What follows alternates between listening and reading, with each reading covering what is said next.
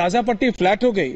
General Sanjay, retired major general Sanjay Meston मेरे साथ जुड़े हुए जनरल साहब, जब इस तरह की चीज़ें होती हैं, मेजर को भी रखिए प्लीज़। मेजर कह रहे हैं कि ये लड़ाई और जाएगी। लेबनान ने अभी पिछले 45 मिनट में 30 रॉकेट दाग दिए हैं। इसराइल के ऊपर इसराइल को पूरा मौका दे रहे हैं अटैक करने का। लेबनान के वहाँ से मतलब ईरान का सपोर्ट। मेजर साहब, ये तो मतलब जनरल साहब, ये तो क्लियर दिख रहा है जनरल साहब कि this is going to escalate general Sanjay mister general.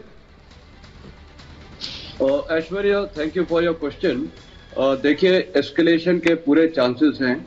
लेकिन अगर today no one can predict कोई भी आज ये नहीं बता सकता है कि एस्केलेट होगा कंट्रोल्ड होगा पीस होगा गुरीला वॉरफेयर चलेगा, या लोकलाइज रहेगा between Hezbollah and Hamas and of course Israel इसको कोई प्रिडिक्ट नहीं कर सकता। ईच डे सिचुएशन बदली होती रहेगी।